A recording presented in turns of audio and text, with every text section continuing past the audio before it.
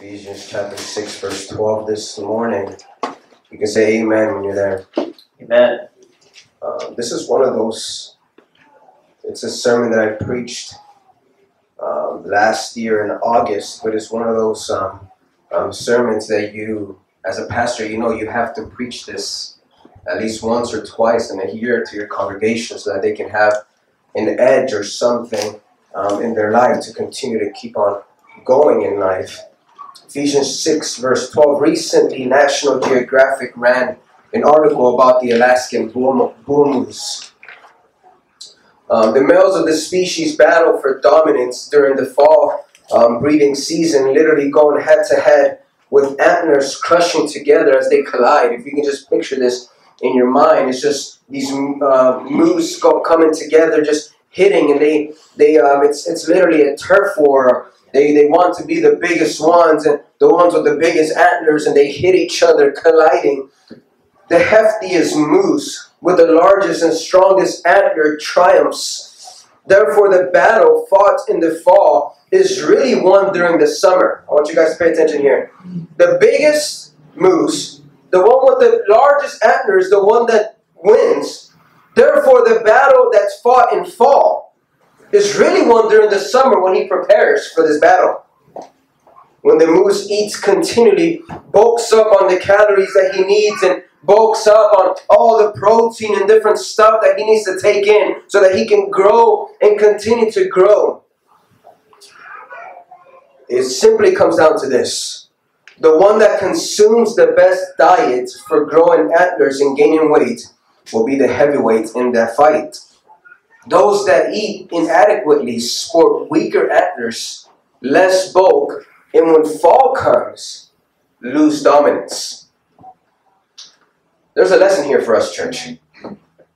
And that is that in our life, there's constantly going to be spiritual battles. Battles. And maybe this morning you are in your summer. That you're not specifically going through something where you feel like you're contending or you're you're colliding with things, but can I tell you this morning that your day will come? Amen. That Satan will choose a season to attack.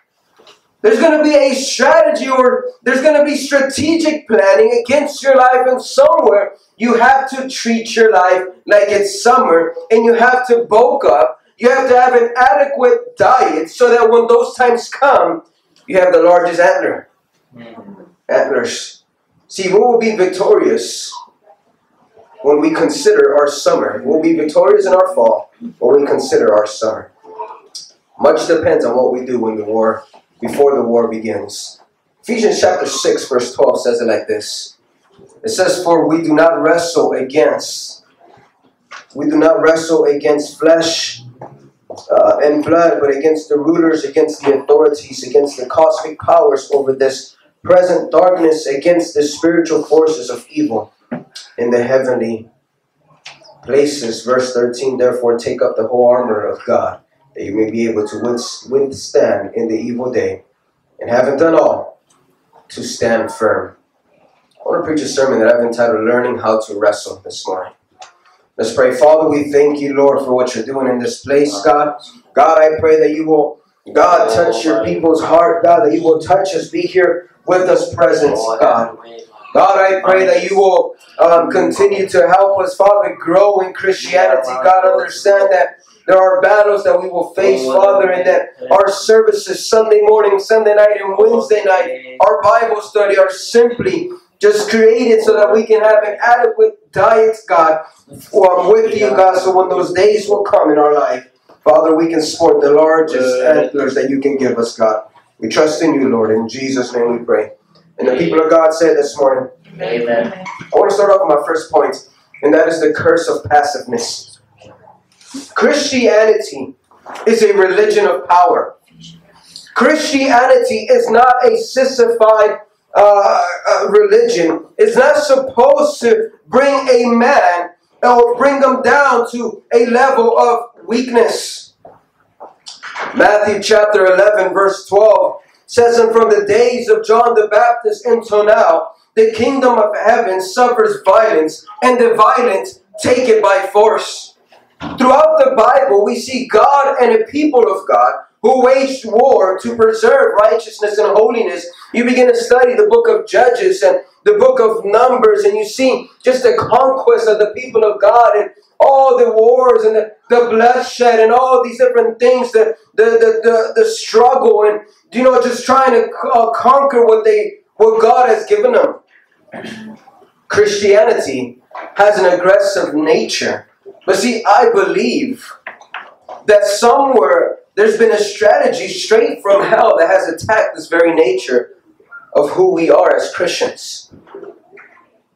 You know, you begin to look at these mega churches and these um these preachers, and you begin to just see it's almost like a hyper grace movement, just Mr. Nice Guy and always smiling and you know just just a champion in you type of mentality, and it's all about you. You begin to look at uh, the the most the more recent uh, books when it comes down to Christian Christian books is mainly stuff on diets and what's the Christian way to um, to lose weight and how, how to be nice and all these different uh, um, things that you see. And, and listen, there's a place for kindness and there's a place for uh, for social skills and being a likable person. But can I tell you this morning that throughout your life you're gonna have to learn how to be aggressive.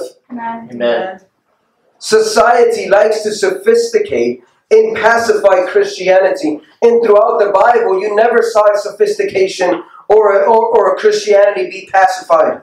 Can I tell you this morning, there is no room for passiveness.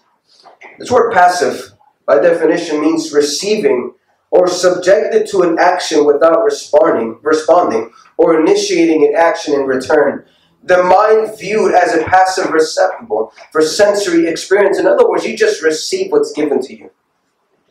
That's just what I'm going to do. I'm just, for the rest of my life, I'm just going to just take the, the hits that the devil gives me, and that's just how my marriage is going to be.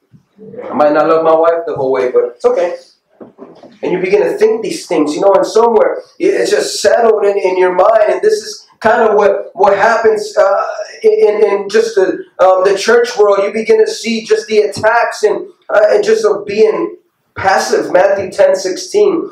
It says, "Behold, I send out send you out as sheep in the midst of wolves. Therefore, be wise as serpents and harmless as doves." Somewhere there needs to be a balance. That yes, you need to be harmless, and yes, your intention doesn't need to be evil, and somewhere you're not trying to hurt people. That's not what I'm saying this morning. But at the same time, you need to be wise and you can't be walked all, all, all, all upon. You can't just take in stuff that people do to you. you. Somewhere you have to have an aggressive spirit. Amen. This is true for the church when it comes down to evangelism. You can either settle for what the devil has for your city, or you can fight for the plans that God has for your town. See, Jesus is reminding us that in the eyes of the enemy, we are prey. See, a lot of times we Amen. forget this. Amen. We forget that, you know what, that somewhere there's an enemy that does not like us. You guys ever had enemies in life?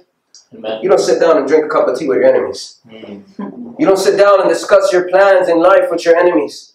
Amen. You don't sit down and begin to fellowship with them because somewhere you understand there's an evil intention from your enemies, and it's the very same thing when it comes down to our spiritual life is that you see many Christians sit down and fellowship and have this communion with the darkness. And we know what the Bible says that what business does light have to do with the darkness? See, the devil wants to see you defeated. It's a term. It's called American American civil religion, which are the elements of cultural and political life that connects to a higher purpose and meaning, often bonding the people of a nation together. I understand it sounds nice and, and, and flowery, amen. That we can uh, that we can uh, all hold hands and, and sing "God Bless America." You know that we can somewhere have some type of patriotism to our nation because we're founded on Christian Judeo um, values, and somewhere, listen, there's a place for that. And I love the fact, I mean, if you guys know that America is the best nation in the world. Amen. And I understand that. But if you're not careful, you can justify your Christianity by getting involved in this. Somewhere you begin to justify your salvation because you're a Republican. Somewhere you begin to justify, you know, who you are as a Christian because you just simply attend church or this is what we do as Americans and the majority are Christians and somewhere you begin to allow this mindset to to um, to just set its ways in your in your life. See, when you were born into the kingdom, you were born a warrior. See, there was a time in Christianity where this was like this was huge. You're like, oh, you enlisting in God's army. You know, it's just you know somewhere like you were like, oh, you're a soldier for Jesus. You know, and it was just you know, it was just some, something that was cool. Very militant mindset. Can I tell you? Listen, you can't you can't strive, you can't walk too far away from that. Mm-hmm. I understand there's extremes, but there there does need to be a militant mindset. There, there is a very there is very much a truth throughout the Bible that there are things that you need to be aggressive about. Amen. There are things that you, you, you can't take no for an answer.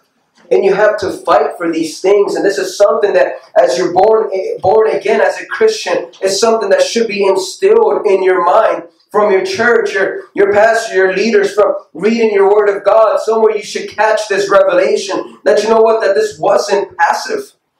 Throughout the ministry, you saw Jesus Christ push aggressively against all the things that the Pharisees and the Sadducees believed in. All these things. You see John the Baptist call the Pharisees brood of vipers, and you see Jesus begin to give them complaints about the book of Isaiah, how you worship with your hands and your mouth, but your heart is far from me. Those was those were aggressive things. Jesus, the loving, uh, the loving Son of God that came to save us, you know the story, walks into the temple and sees men and women gambling with money there and selling things, and he begins to flip over the tables, and it's very aggressive. Amen. Can I tell you, parents, if you want your child to serve God in this generation, you're going to have to be aggressive. Amen. You're going to have to make decisions that other people don't. There's certain things that, you know, Brandon watches that other kids don't, and vice versa. There's certain things that he doesn't watch even though it might sound okay. Although it might sound like it's something that, that you know what, that he could, but somewhere we made decisions. No, you're, you're outreaching. I was telling him Saturday morning, I was like, because he told me that he, he want to pass out flyers. I was like, listen, you're working for God.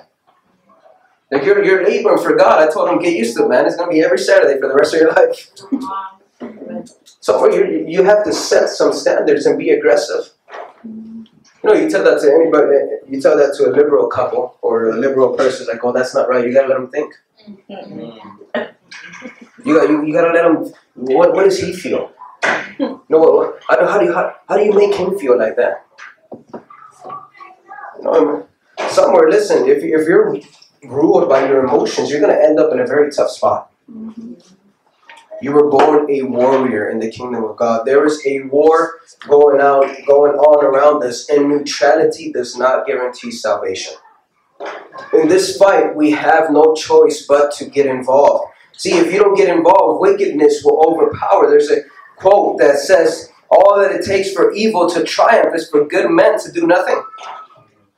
See, people depend on your fight this morning, father, mother. Listen, your children depend on if you're going to fight for, uh, for, for righteousness, if you're going to make decisions to, to uh, have standards in your home and go against the, uh, the crowd and the waves and all these false doctrines and all these things. Listen, people depend if you're going to on, on your fights.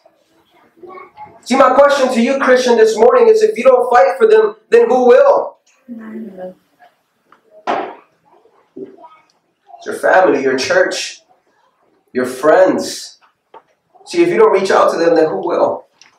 No. See, the problem is that we, we like to we like to think that that the devil just comes around with a pitchfork. We were talking about this in um, um in Tuesday night's uh, new conference class. That we like to think that the devil is going to announce to everybody like I'm the devil, and I'm here because I, I have it against that person. You know, like, no, the Bible says that he comes like an angel of light there's a deception involved in this. And a lot of times we think that it's it's only the evil, you know, just this is gross and evil. This is the stuff that we're going to do. Some of it is clothed in religion. Come on. Some of it is clothed in just, you know, just uh, there's a line in one of the um, uh, just a Christian rap song, and he speaks about Disney being pure, and he, it's a wordplay on there. But somewhere what he's saying is that listen, just because it says Disney, it doesn't mean it's pure. Mm-hmm. And somewhere you have to make decisions and understand there are strategies against you, your family. And you just can't be passive anymore. I want to move on to my second thought, and that is the unorthodox defeat. This word unorthodox means contrary to what is usual, traditional, or accepted, not orthodox. And our scripture defeat is not what we think it is. Our scripture is identifying the fight that we are in. See, Paul is bringing clarity to Christians and what we are involved in how we prepare for it. He's telling the Ephesians in chapter 6, verse 12, for we do not wrestle against flesh and blood. In other words, you're, pun- you're punching the wrong guy. You're fighting with the wrong person. He says, but this is what you're fighting against. Against principalities, against powers, um, against rulers of the darkness of this age or cosmic powers, against the spiritual host of wickedness in the heavenly places. One of the biggest um, truths in, in life is that if you're going to get in a fight, you got to get in a fight with the right person. This is why you go around. Remember in high school, you were, are you talking mess about me? Who was it? What was it? You? And you begin to you, you identify who is the person, and this is true in spiritual life. Is that you don't fight against people. You have to understand that the fight isn't against a face, but it is it is spiritual, and there is a wicked um, uh, spiritual realm that is against us. So my intention this morning is I want to try to help a little bit more as far as defining what the spiritual warfare is. What spiritual warfare is not. And this is what you're not, uh, or, or what is it? What does spiritual warfare look like? Or what, is, what does a Christian look like when he's fighting spiritually? A Christian who is singing the national anthem doesn't mean that they're fighting the spiritual warfare. A Christian who gets involved in a passionate political debate doesn't mean that he's on the front lines of Christianity. Somebody that goes to church religiously doesn't mean that, that, that they're fighting the spiritual warfare. See, somewhere you have to understand it goes beyond just simple things that we do. Defeat here is when we are fighting the wrong fights. That is what defeat is in our scripture. It's not necessarily that you got that you're being uh, that, that, that somewhere they're killing you or or just the regular defeat. The defeat in our scripture that Apostle Paul is speaking about is simply you are in the wrong fight. You're fighting against the wrong enemy. See, there are many Christians fighting the wrong battles. They are fighting physically. They are fighting against the church. They're fighting against their families, their, their brothers, their sisters. Fighting the wrong battles has negative effects to our lives. And this is what he's talking, this is what he's telling the, the Ephesians. He says, This is what the battle is about. Not flesh and blood, not your brother, not your sister, but it is against spirit, spiritual matters. See, fighting the wrong battle will cause you to do some negative things. One, it'll cause you to waste time. Hmm. I mean, guys, time, time Amen. is of essence. Amen. It is, time is like gold. And if you spend so much time fighting against flesh and blood, listen, you're going to waste it. You're getting nowhere. A lot of times, on this very same thing about time, you're set back on your destiny. When, when you should when you should be serving God and when you should be fighting on the front lines of spiritual warfare, listen, you're, you're wasting it on flesh and blood. Many times you compromise in vital spiritual areas. When you should be talking to God in prayer and you should be outreach and evangelizing and telling people about Jesus Christ, you're doing all these other things. All these programs in Christianity, all, all these, uh, reading all these kinds of different books that, you know, and, and all these things. There's so many things you can waste your time on. Amen. I want to say this this morning. If Satan can isolate you from God and his people, he knows he can win. Isolation is the name of his game. If he can steal your devotion from God, isolate you from God, if he can steal your fellowship and begin to add strife to you and your church and begin to twist your views of how you see people, can I just put it out there? I'm just going to set a standard for our church. People are jacked up, okay? people are coming in with the issues. They have different views. They're going to do things different than you. Than you. And somewhere you just have to set that in your mind. They might say things that you that you think they're against you, but in reality they're not. Mm-hmm. Hallelujah. if he can steal your devotion, he doesn't need you to be an evil person in this world. See, you know, guys, the, the devil isn't necessarily trying to make you a murderer. He's not trying to make the next Ted Bundy out of you. But see, if he can just steal your devotion from, from God, if he can just make you view your church differently or view the Bible differently, then somewhere he has won the battle.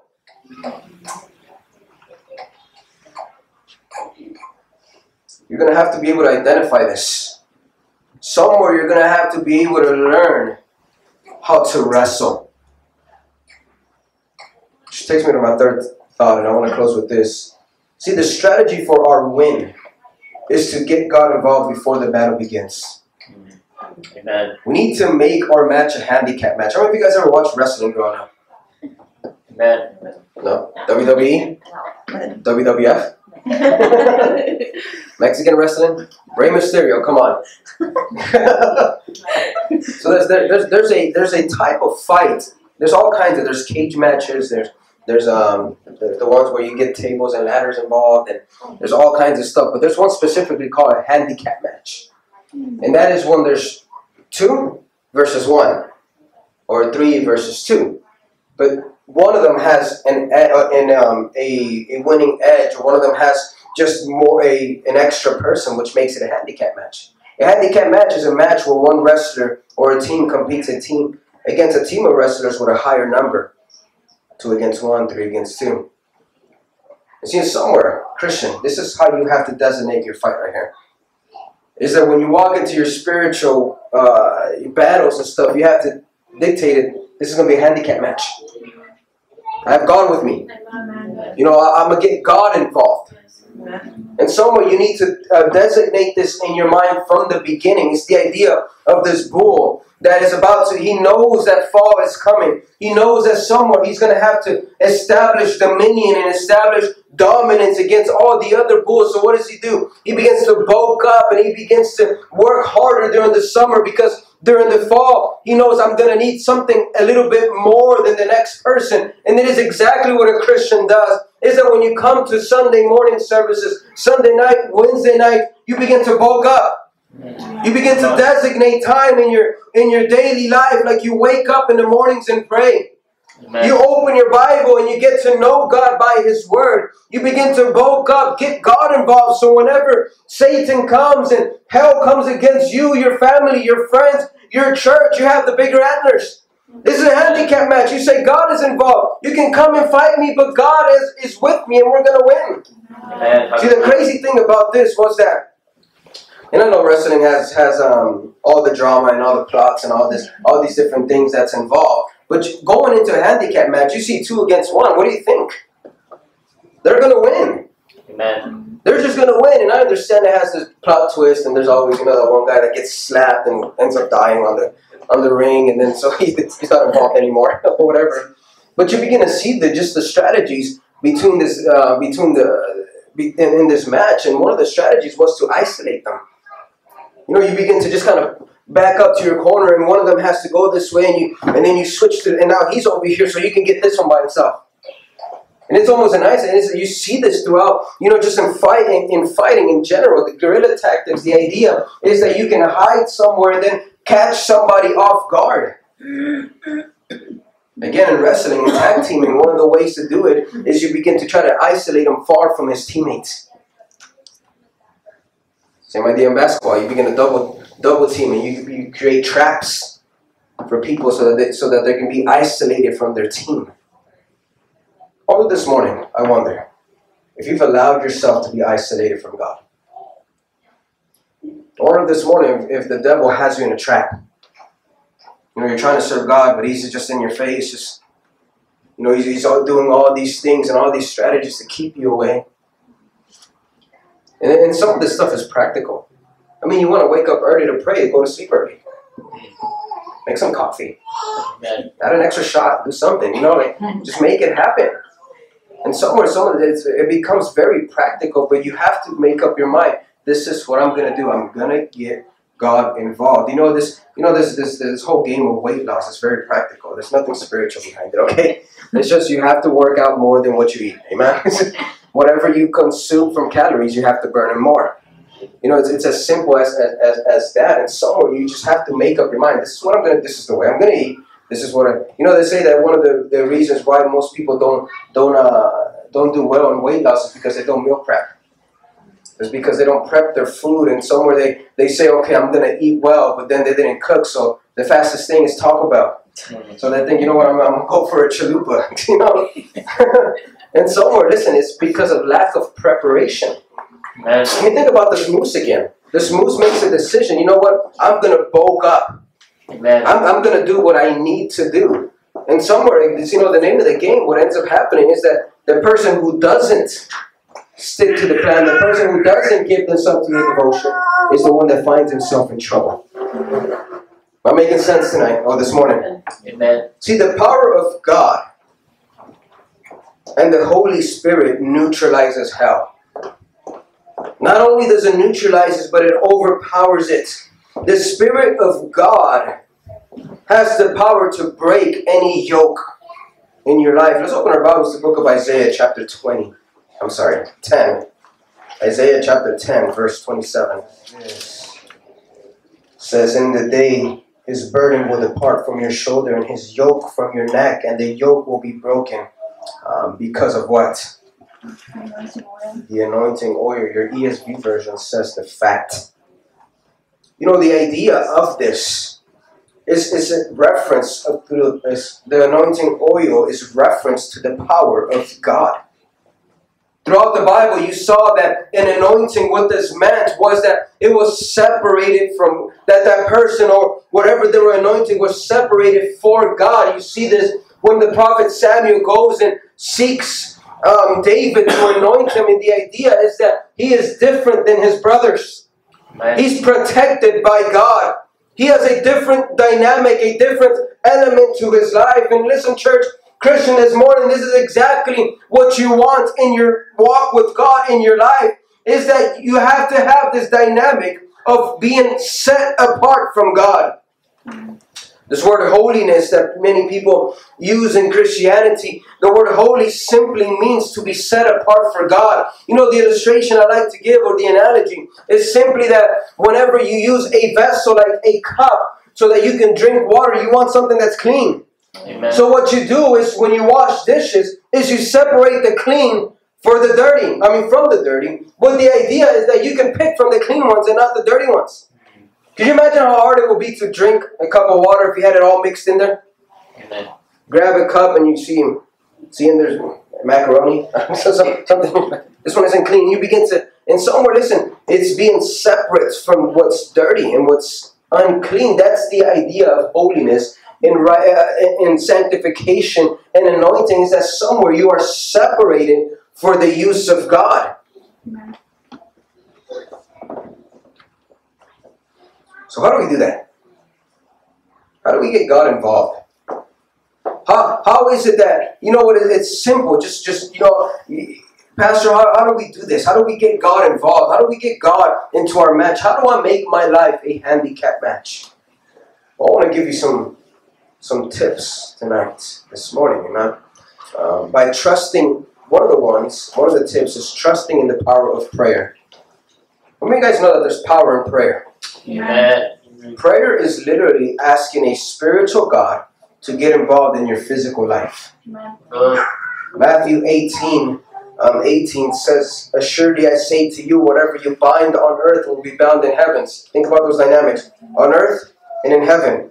And whatever you loose on earth will be loosed in heaven. Heaven, earth. Verse 19, Again I say to you that if two of you agree on earth concerning anything that they ask, it will be done for them by my Father in heaven. It's literally you ask your God in heaven to get involved in your life on earth.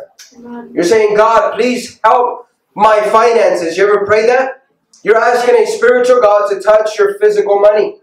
God, please help my wife, or God, please help my children, please help my church. What you're doing is you're asking a supernatural, spiritual God to get involved in your physical life. It is a handicap match. The moment you begin to give yourself up to prayer is the moment your match becomes handicapped. This is why it's so hard to pray. This is why Satan tries anything to keep you away from prayer. This is why there's so much, so many distractions in this world. You know, eh, eh, you begin to see the smartphones and all Hollywood and all these things. You have binge watching now that you can go on and watch the whole 28 seasons of Friends in one in one sitting. Distracted. Notifications. I hate notifications, man. I have two. I have ESPN and my messages. so my notifications. And then somewhere these people just Facebook and, and, and all these uh, Facebook, Twitter, Snapchat, and all these things that they, that all and the excuse they use. I just want to keep up with everything. Well, you don't have to keep up with everything. Come on. Just don't. You can you can read. You can do all these different things. Listen, the, the world is going to fall apart because you don't know what's going on. You have to trust in the power of prayer. That's what you should be keeping up with as your God. That's one. Power of prayer. Two is trusting in His Word. You can't just read the Bible. You have to apply it to your life. This is what James says. He says that there's a man that looks in, in a mirror. He says, and looks at his imperfections, but just walks away and doesn't do anything about it. It's just like a man who reads the Bible and gets dealt with when he reads the Word of God, but doesn't do anything about it. What good is that? If you don't apply the Word of God, what good is it that you can read and you know people? It's funny because people will select. You know how people have selective hearing. people do that with the Bible. I'll read the Bible every morning, and it's always like Psalms chapter one. or it's like your God will give you the inherit the, the nations as an inheritance. Open your Bible, read the book of Romans, see how you feel after you read that one. See, the only way to understand God is through His Word. You begin to seek His heart and begin to see what, what's important to Him and what do, I, what do I have to do to be right with Him and be in, in good standings and in good relationship with God? See, the Bible has answers to your problems. Amen? Yeah. Repeat that one more time. The Bible has answers to your problems. Amen. And somewhere we forget that somewhere that we can, when we're going through something, we can open the Word of God and figure this out. You can do that. That you can open your Word and, and somewhere you can find, you know what, the clarity and the guidance that you need from God. You have to trust His judgment. You know, one of the hardest things I'm going to be preaching tonight out of the Matthew series that we've been doing, Matthew chapter 3, and we're going to speak about pruning and winnowing. And that's one of the hardest things to go through as a Christian is when God says no. It's when God says no that, that you just you can't get involved in that. You're son and daughter of God. You ever, you ever seen children want to do something real bad and the parent says no? Please. No, come on. No. Please. That's one of the hardest things. Pastor Campbell says that um, you don't know what's really in a man until you tell him no. You have to trust his word. Not only trust the good stuff, but trust his judgments. Trust trust the the uh, the stuff that he's the yes and the no's in, in the Bible. And the last one is that if, if you want, you have to get God involved in your life. He wants to fight your fight. He wants to fight your fight. Man. See, when you get this revelation, life is so much easier. That somewhere you're saying, listen, I don't have to go through this. I can just drop it. I can just give it to God, and God can help me with it. You know, many, many people that worry and they go crazy with all the problems in their life, and you know, and you begin to connect the dots, and you begin to think if this doesn't happen, that this is going to happen, and this is going to happen, and this. And you always come to the conclusion, oh, well, I'm gonna die. You know, you know, and all these different things. Listen, just the Bible says, "Come, come, ye who are heavy laden." Who are tired. He says, Come and take my yoke, which is light. In other words, listen, I've said this before. You are not designed to carry the weight of life. That's not how you were created. Amen. You just weren't. God, God created you so that you can run to Him, Amen. so that you can go to Him with all your issues and all your problems. That's how God created you. So that you can come to Him, so that He can fight your fights. You know, Apostle Paul, he's not saying you're going to have to become a spirit and fight spirits. That's not, that's not what he's saying. You know what's the you got you got to read context and read between the lines and hear. You know what Apostle Paul is really telling the Ephesians is that somewhere. Listen, if you get God involved, He'll fight your fight. Is that this isn't about you? It's about the glory of God. Amen. This is the defeat right here. Is that somewhere you surrender to God and you allow God to help you And listen, your fight will be won. But see, many people are fighting the fight, the wrong fight. They're it the wrong way. They're punching the wrong person. It says, For we do not wrestle against flesh and blood, but against principalities, powers against the rulers of darkness of this age. And note that the next scripture doesn't say, so you're going to have to do this, and you're going to, it says, no, you just put on the whole armor of who? God. So that's what you have to put on. Not your armor, anybody else. This is what you do. You put the whole armor of God, and God will help you. Amen. There's got to be an, a standard here. Let's just settle settle it for the Potter's House Christian Church of Tri Cities. Amen. You're not good enough. You're just not. You're not good enough in life to be able to defeat all the attacks from hell. You just it's a whole different spiritual realm. But you serve a God who is good enough. Amen. You serve a God who says, I'll fight your fight. And this is what you constantly see throughout the Old Testament that, that when the Israelites try to do it themselves, they will they will lose things and they will lose these battles. But when they were able to trust God and all the instructions that He gave them, somewhere God supernaturally came through for them. You serve a supernatural God. Amen. And somewhere you need to surrender to Him and say, you know what, God, fight my fights. Make your match a handicap match. To me, guys, you're, you're in a headlock right now by Satan.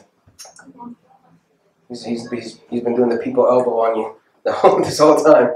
Anyway, that's wrestling talk. Somewhere you have to, say, you know, God, tag, tag his hand and say, God, you get involved this time. I'm tired, I surrender. You get involved. Mm-hmm. You have to learn how to wrestle. If not, you're going to be all frustrated and vexed in life. This Christian, this Christian thing doesn't work. It does. It does when you when you do what God tells you to do, and it works. But when you try to serve God in your conditions, it does not work. Doesn't work that way. Can I get every head bowed and every eye closed?